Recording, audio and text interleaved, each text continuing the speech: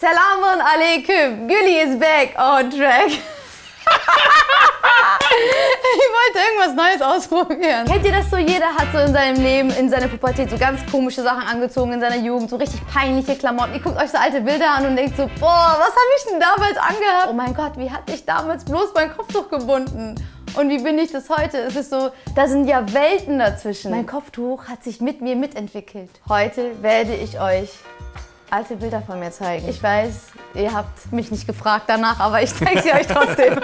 ich bin so gespannt, ich habe auch wirklich Angst. Ich hoffe, sie haben nicht das aller, aller peinlichste vom Peinlichen ausgesucht. Legen wir einfach mal los. So, Gülli, bist du bereit? Erste Foto. Okay, äh... Das ist noch ein schönes Bild. Oh Gott, ja, dieses Bild ist aber voll schön. Ich liebe dieses Bild. Das war das allererste Mal, als ich Kopftuch getragen habe, das war der ungefähr dritte Tag oder so. Wir sind dann mit dem Auto in die Türkei gefahren und ich war so aufgeregt und ich habe gesagt, ey, wenn ich aussteige, dann werde ich Kopftuch tragen. Und dann habe ich meinen Fuß in Kapukule gesetzt und ich dachte so, okay, scheiße, jetzt muss ich wirklich Kopftuch tragen. Und ich habe es gemacht. Also für mich war das einfacher, in der Türkei anzufangen, Kopftuch zu tragen und nicht in Deutschland. Deswegen habe ich das sozusagen ausgenutzt. Aber mein Kopftuch habe ich halt von hinten gebunden, weil es so das allererste Mal war, dass ich Kopftuch getragen habe. Und ich wollte nicht wie aussehen wie eine Oma, deswegen. Ich kann nicht hingucken, ich höre hier an. Oh nein! Jonas, zeig mal.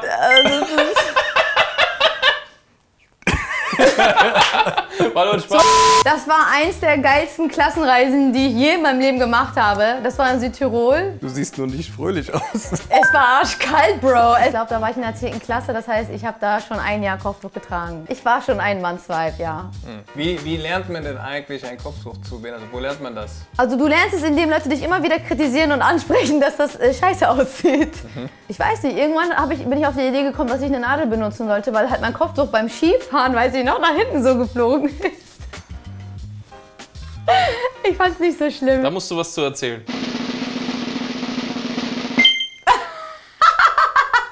Ich wusste, dass das genommen wird. Ich sehe aus, als ob ich Drogen genommen hätte. So. Das war am Tag meines Geburtstags, da bin ich 18 geworden. Ich habe für mich keine Klamotten gefunden und dann war ich viel zu geizig, um für einen Rock 40, 50 Euro auszugeben. Deswegen habe ich meine Klamotten selber genäht. Also ich habe es einmal in der Schule angezogen, tatsächlich. Und äh, meine Lehrerin, meine Kunstlehrerin, Frau Sass, sie meinte immer, ich bin sehr künstlerisch begabt und äh, deswegen... Das ist Kunst. Ja. Eins plus. Also ich muss euch was dazu sagen, ja. Bis zur, siebten, äh, bis zur 10. Klasse war ich angezogen wie ein Junge, aber richtig hässlich. Und in der 11. und 12. Klasse habe ich die Kurve gekriegt und war Jahrgangsbeste angezogene Mädchen. Diplom. Nein, es gibt doch diese Abi-Bücher. Ich habe sogar ein Abi-Buch, ich kann euch das zeigen. Es gab so ein Ranking bei uns, so Abi-Buch. Kennt ihr das nicht? In der Türkei kauft man solche richtig knalligen Farben und die habe ich da mal getragen. Und wenn man in Deutschland sowas trägt, dann ist es total hässlich. Also ich will es heute nicht anziehen. Und das Kleid habe ich auf dem Flohmarkt für 5 Euro verkauft. Ich meine, okay. Ich bin nicht bereit, ich will nicht gucken. Okay, zeig.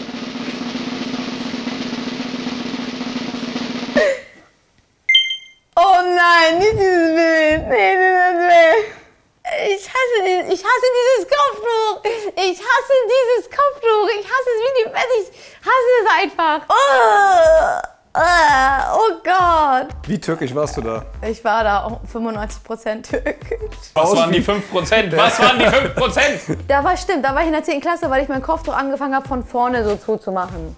In der 9. Klasse habe ich es nur von hinten so getragen. Ich habe noch ein bisschen meinen Hals gezeigt, weil ich wollte so Step by Step. Das war in, so rumzulaufen. In der Türkei auch. Ja. Auf dem Dorf. Ich habe diesen Kopftuchstil tatsächlich in der Türkei, als wir dort in einem Masa drin waren, also in so einem Laden, da haben die Frauen sowas getragen. Also die haben es genau so getragen und die meinten zu mir, das sieht richtig schön aus, mashallah, mashallah. Und ich so, ja, und ja, mashallah, mashallah. Ich so, okay, dann nehme ich das mit. Und in Deutschland, ich kann mich noch ganz gut daran erinnern, neben mir saß Tobias und Tobias hat immer von mir abgeschrieben. Und er hat einmal zu mir gesagt, warum ziehst du dich an wie eine türkische Oma? Ja, warum? Und er hat mich auch was anderes gefragt, aber das möchte ich nicht sagen. Er meinte, wann machst du endlich dein Darmbad ab? Nee, gegen mein Kopftuch hatte er nicht so viel. Er meinte nur, ich soll nicht solche hässlichen Farben tragen. Was ich nicht schön finde, ist dieses Bonne mit diesen Zacken. Das habe ich mir selber daran genäht. Echt? Ich wollte einfach anders aussehen als die anderen. Ich habe das Gefühl, immer wenn ich denke, okay, das, die haben das Schlimmste schon gezeigt, dann kommt noch schlimmer eigentlich. Mhm. Oh, das ist so ein Mother-Foto. Ich hab's gepiept. Da war ich richtig krass. Da war ich auf Koks. Droge und Koks. Also das war die Phase meines Lebens, wo ich nicht wusste, was ich bin. Ohne Witz. Bin ich jetzt ein Mädchen? Bin ich ein Junge? Bin ich hetero oder bin ich homo? Bin ich Muslimin oder bin ich keine? Es war die schlimmste Phase meines Lebens. Jeder hat mal so eine Phase und ich hatte diese Phase auch. Ich war ein Mannsweib und ich wollte aber trotzdem hübsch aussehen, aber ich wollte aussehen wie ein Junge. Ich, soll, ich wollte gefährlich aussehen, wie Rapper aussehen, wie Tupac aussehen, wie Eminem, wie 50 Cent. Ich bin mit den allen aufgewachsen und jeden Tag, yeah! Und dann dachte ich so, ciao, bist du peinlich. Nein, sag mir was. Ich bin auch immer so rumgelaufen und meine Mutter meinte immer zu mir, du bist kein Junge. Und mein Vater meinte immer zu mir, mach was du willst. Also es war eher so ein, okay, so ich mach was ich will. Und meine Schwester meinte immer zu mir, du bist peinlich. Weil ich immer mit Baggy-Hose und Skateboard und einer gefakten Goldkette zur Schule gegangen bin. Ich bin früher Skateboard gefahren, aber so richtig hardcore. Das war der Übergang von 16 auf 17. In einem Jahr habe ich, glaube ich, meinen Kopftuchstil fünfmal geändert. Guck mal, eins müsst ihr wissen, äh, mein Vater hat nicht so viel Druck auf mir ausgeübt, aber meine Onkel, und immer, wenn ich dann in die Türkei gegangen bin, haben die mir so ein schlechtes Gewissen eingeredet. Ja, du trägst Kopftuch, du darfst nicht das machen, du darfst nicht das machen. Und dann kam ich zurück nach Deutschland, habe dann ganz normal Kopftuch getragen. Und dann bin ich zur Schule gegangen und dachte so, alles ist scheiße. Du, du fällst in so ein Loch.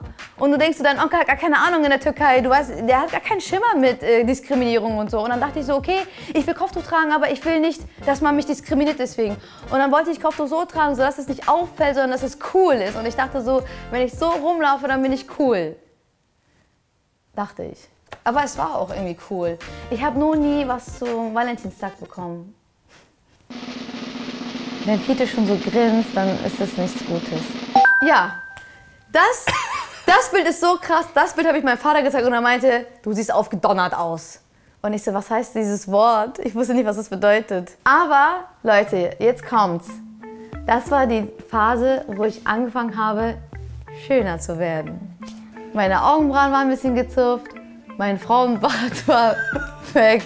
Ich hatte richtig krasse Akne und ich bin fetter geworden. Ja, das ist das allererste Mal, dass ich mir Make-up gekauft habe und ein Lipgloss für 1,95 Euro von Wir dürfen keine Werbung Von Piep. Von, ja, ist so schlimm, Entschuldigung. Da war ich oft bei einkaufen und ich fand diese äh, ganzen Models da total schön. Und ich dachte so, das Kopftuch, wie ich es trage, sieht einfach hässlich aus. Und ich wollte, dass mein Kopftuch so ein bisschen so in den 80ern aussah. Und dann habe ich mir immer hier an der Seite so eine Schleife gemacht. In Deutschland gab es halt keine äh, muslimische Mode. Damals gab es ja bei Facebook so Social Net Networks und du konntest dich in so ein Netzwerk einloggen und ich habe dann immer gleich immer Amerika immer gemacht. Und da habe ich dann immer so richtig viele Hijabis dort gesehen, die waren ja komplett anders gekleidet und ich dachte so krass, warum sehe ich so hässlich aus? Warum sehen die so gut aus?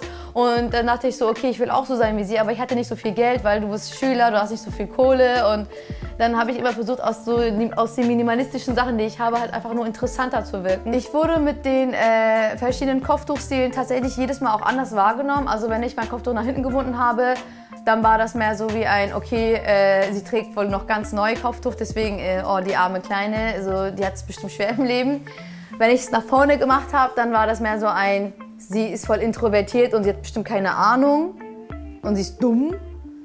Und äh, als ich dann so meine Rapper-Phase hatte, das war mehr so ein, oh mein Gott, was ist denn das für eine Muslimin? Okay, gut, letztes Bild. Noch ein Bild? Ja, ein letztes. Wann war das? Wie ist das passiert? Wieso hast du dich so entwickelt? Also dieses Bild, kannst du das wenigstens halten, damit ich nochmal das vor meinen Augen habe? Also mit dem Beginn meines Medizinstudiums habe ich erst dieses, äh, diesen, diesen Stil sozusagen entwickelt, weil ich gemerkt habe, mit äh, Stethoskop kommt man einfach nicht an die Ohren ran, wenn man hier vorne eine Nadel hat.